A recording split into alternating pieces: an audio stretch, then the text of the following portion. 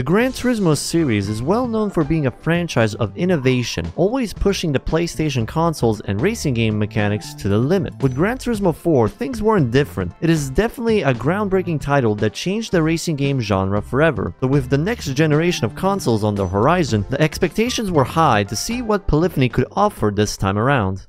To give players a peek what was coming next, they released a demo in 2006 called Gran Turismo HD, just to show the graphical capabilities of the new console. But ultimately, it was just a demo, so to really demonstrate what Gran Turismo 5 would be, one year later, 10 years after the very first Gran Turismo game, Gran Turismo 5 Prologue would be released to the public. It introduced some neat new things in the series, like the interior view and the online play something Kazunori Yamauchi has wished for since the beginning, allowing up to 16 players to race at once. And it also had a sort of career mode separated by classes, the one-make races, the local multiplayer mode, and of course the arcade mode. So the Gran Turismo 5 prologue was full of content, no doubt about that, but it was still just a prologue, and the full game was nowhere to be seen that it set up false expectations for the next game. While Gran Turismo 5 took 5 years to develop, got delayed for quite some time, and was one of the most expensive games in development at the time, with a budget of $60 million. Now in retrospect, we know that this game is the best-selling PS3 exclusive, but does that make it worth playing after 13 years? Is it better than its predecessors? Did it hold up to the expectations? Let's find out.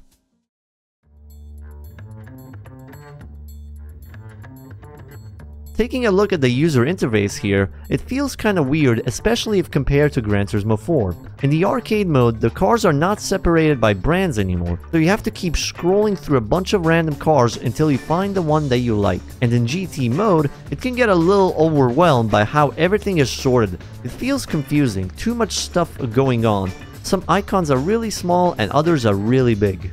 If you want to go to the options, you have to press a little button at the bottom left of the screen. If you want to take a look at your garage, it's another little icon that you have to find. It doesn't feel intuitive, but rather confusing. In comparison with Gran Turismo 4, everything was there at reach, simple but effective. But let's talk about what feels more important for a car game, the car list.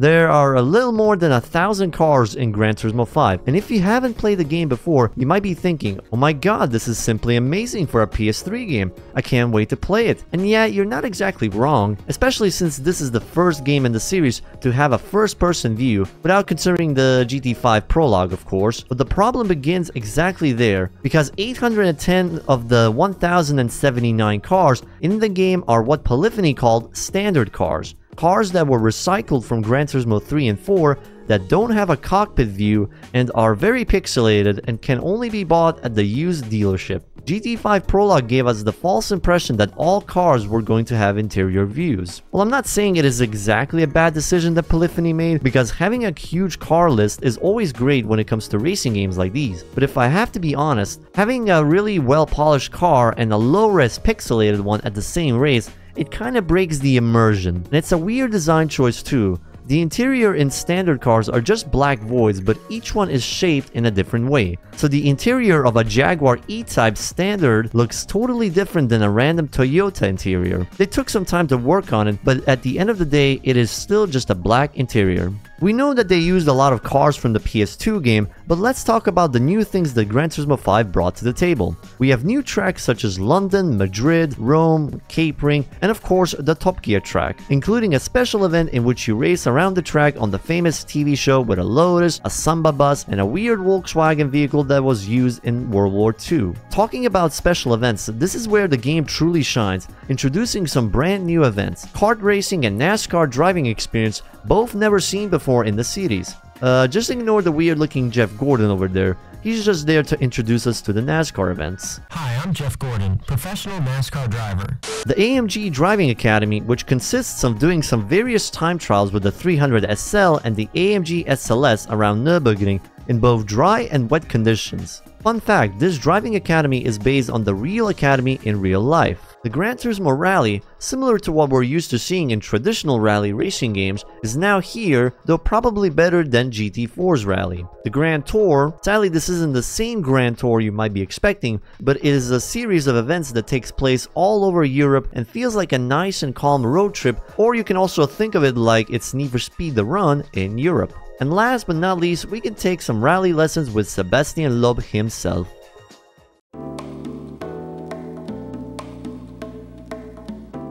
In the previous titles, B-Spec was a useful feature especially at endurance races, so you didn't have to play for literally 24 hours straight. But things changed in the first Gran Turismo mode to be released on the PlayStation 3. A-Spec and B-Spec are now separated in the career. They have the same races and championships, but the progression is not related to one another, and the price cars are different. In other words, you'll play the same races, but in one playthrough you actually control the car and in the other you watch the AI do it for you. And you can't even speed up the events, so the most useful aspects of the B-Spec races are also gone, and they also doubled the amount of laps, so it takes forever to do these B-Spec events. They added a bunch of new features to it though, like the mental and physical strength of your driver can change and affect your performance. You can also create different drivers with different skills to help your playthrough, which is very nice, but I can't see a lot of people spending too much time in this game mode, now that you can't fast forward the races. So at least it's a somewhat immersive race director simulator.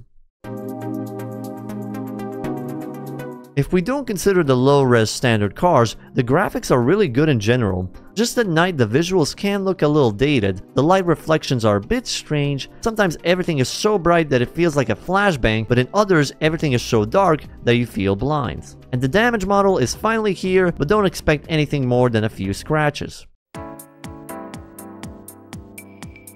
There's a new thing in this game that is worth noting, the level system. Each time you win an event or a championship, you earn XP points, making your level go up. And as you progress in the game, your level will unlock events, championships, and cars to buy. So basically, you don't have all the cars available for you right from the start. Although the level system gives you a new sense of progress, which is nice, sometimes you won't be able to buy a rare car that you found in the used car dealership because you don't have the level necessary and God knows when you will find that vehicle available again. It is still a very questionable addition to the game. Some seem to like it, but most seem to really dislike it, as it limits the freedom previous games have offered. As you progress, you can also unlock horns and paint jobs. Yes, now you can paint your car and rims the color you wish. But for that, you have to buy a car that has the color and then it will be available at the GT Auto shop. Talking about GT Auto, the animations of changing oil and washing the car are still here. Sadly, we can't say that about GT6 and GT7 though. About tuning, Things are mostly the same as before, you can change rims and spoilers in GT Auto, but there's a new and very interesting thing for specific cars, racing modifications. Now you can turn your basic Volkswagen Golf into a racing car. You might be thinking, what is this number and this thing called PP? Well, PP stands for performance points. It's a new concept in the series and it is basically a number that corresponds to the power of your car, making a point of reference and restriction for entry requirements in events. It can also help to indicate how powerful are the cars that you are racing against, but to compensate, the AI isn't very challenging unless you choose a slower car on purpose. Track Editor adds the possibility of creating custom tracks for the game, but don't expect to have the ability to recreate the Nürburgring or something super complex like that. You're given pre-built tracks and you can customize the number of turns, the road width, and stuff like that. Nothing too fancy, but it's interesting nonetheless.